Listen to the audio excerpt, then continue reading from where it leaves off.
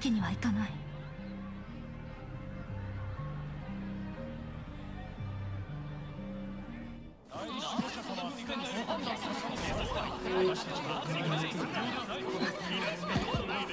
ういい。そこまで？どうすべきか分かった。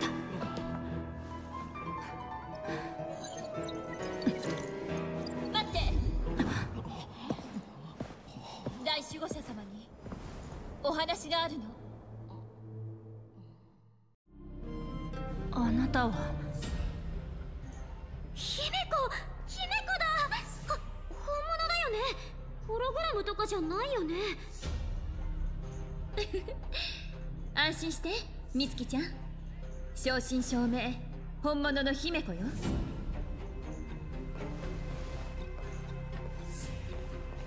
あなたが請求列車の姫子さんずっと会いたいと思ってたの。この前の戦いはあなたが手を貸してくれたおかげで無事に勝つことができたから。あなたが来ることを事前に知っていたら剣奏者も霊を持って迎えたはずなんだけど今は少し特殊な状況で。詳しい説明は必要ないわブリョーニャあんたの町が今前代未聞の困難に直面していることは分かってる。私がここに来たのはあんたたちに事の全貌を伝えるためなの。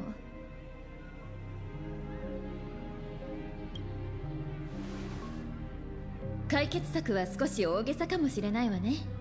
あくまで追加の情報を提供するだけだから。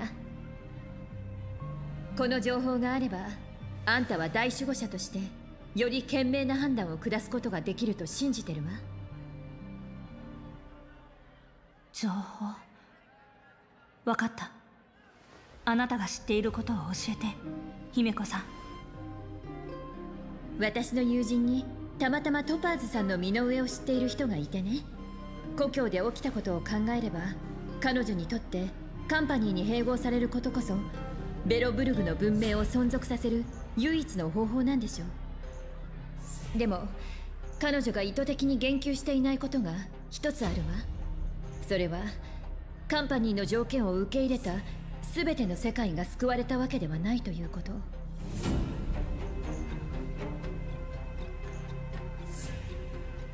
それって？星の生態系を再建する。これほど大きなプロジェクトには必ずリスクが伴う。友人から渡されたデータによるとカンパニーの技術支援を受けて実際に復興した星は全体の63%にとどまっているわ成功率は6割ってこと？ちょっと不安になる数字だね。もちろんこの統計は平均値でトパーズさん本人が担当したプロジェクトの成功率は8割以上だった。彼女の実力は間違いなくトップクラスよ。私が伝えたかったのはこの数字と確率のこと。これらの情報を透明化してこそあんたにとって公平になると思ったの。それでも最後に選択する権利はあんたにあるわ。大守護者。分かった。ありがとう姫子さん。あなたが提供してくれた情報のおかげでこの問題の本質が見えてきた。相手がどんなに美しい未来を約束したとしてもこの契約書は賭けに過ぎない。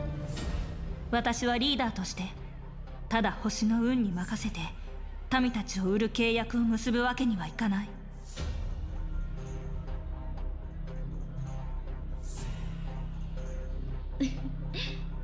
決心がついたなら私も中立を装う必要はないわね。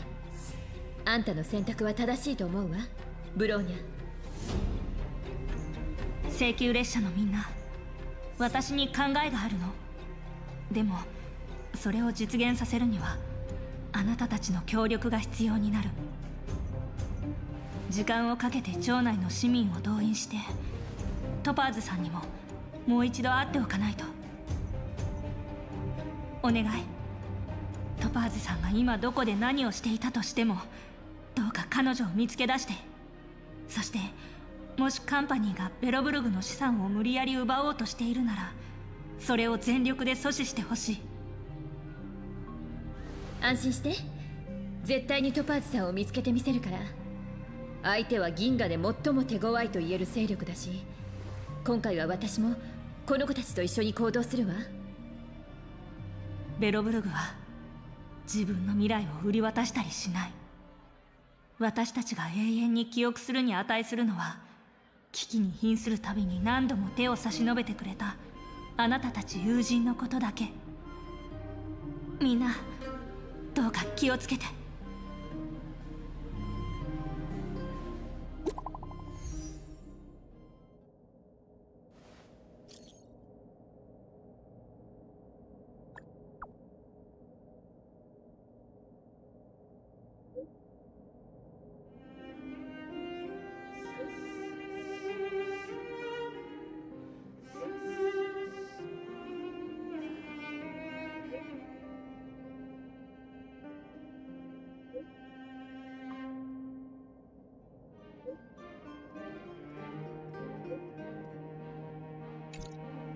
リベットタウン。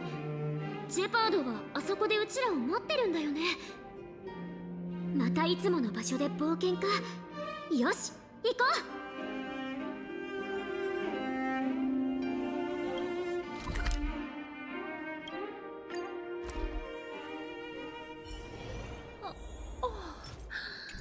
う。コーヒーでもどう？